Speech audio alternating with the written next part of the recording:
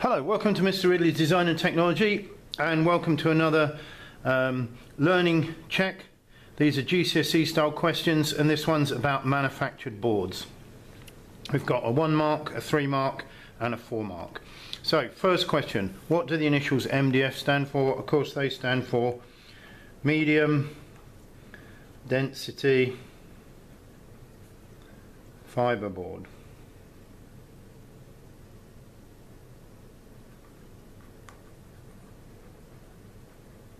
We have a block there. Medium density, see that's a Y, fibre board. Okay, list the advantages of using manufactured board over solid timber. So this question saying if you had um, square metre for square metre, you had were you using um, boards or you were using um, uh, MDF or plywood instead of solid wood, what would be the advantages? Well, first of all, it is available in large sheets. Um, perhaps you should have said manufactured board is available in large sheets, but obviously um, things like plywood available in eight foot by four foot sheets. So that's if you want to make a tabletop or something, much easier than um, you can't do that with with board or with wood. Um, number two, um, it is less prone to warping or faults. So it is less prone to faulting. Um, if you've got timber, it can have knots, it can have splits, it can warp. Manufactured board has none of those issues. So manufactured board, generally, piece of MDF, there's no faults. It's just a uniform material because it's manufactured. And last of all, um, compared to solid timber it is less costly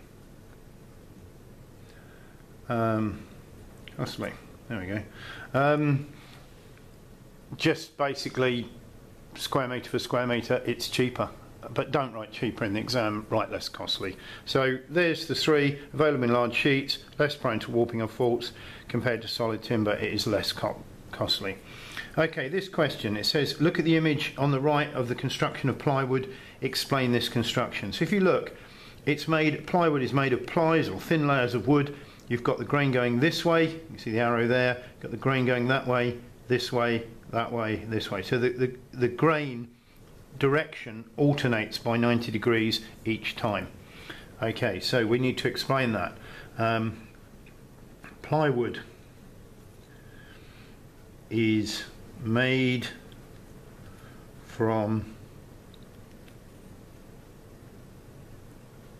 layers of thin wood um, with the grain running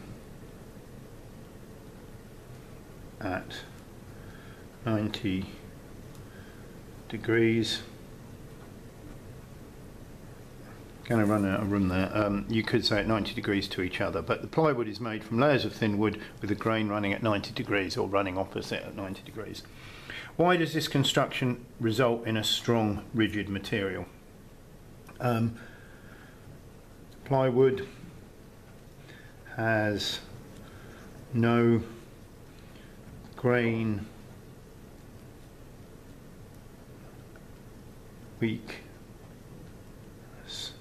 weaknesses um, and will not the main reason for warping in timber is where all the grain is going in one direction and it, and and that it's unstable in that in that kind of um, area. But with this, you don't get, and it, of course it's stabilised with the glue inside as well. So there there it is. There's um, manufactured board, GCSE style questions. One mark there, three marks there, one, two, three.